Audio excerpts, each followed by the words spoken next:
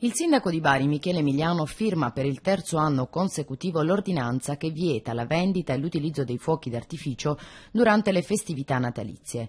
Esultano gli animalisti, i primi ad aver sostenuto questa iniziativa, oltre alla stragrande maggioranza dei residenti, che di festeggiare il 31 dicembre in piazza con l'incubo di trovarsi dinanzi ad un petardo non hanno proprio voglia. Sebbene al centro di numerose polemiche, l'ordinanza proibisce la vendita e l'utilizzo dei fuochi di artificio a partire da oggi fino al primo gennaio gennaio. Saranno dunque banditi quelli appartenenti alle categorie 2 e 3, così come stabilisce l'articolo 3 del decreto legislativo del 4 aprile 2010 e più nello specifico il numero 58.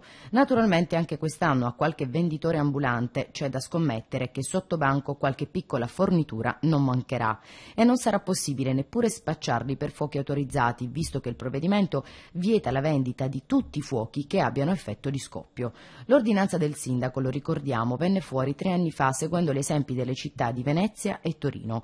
Un giusto deterrente visto che negli anni scorsi è diminuito notevolmente il numero degli incidenti e soprattutto dei feriti, in particolare nella notte di San Silvestro. E mentre in queste ore proliferano i commenti sulla pagina Facebook del primo cittadino, Emiliano resta sempre più convinto dell'ordinanza già disposta. Un duro colpo in particolare alle organizzazioni criminali baresi, abituate da sempre a dare il benvenuto al nuovo anno a colpi di botti.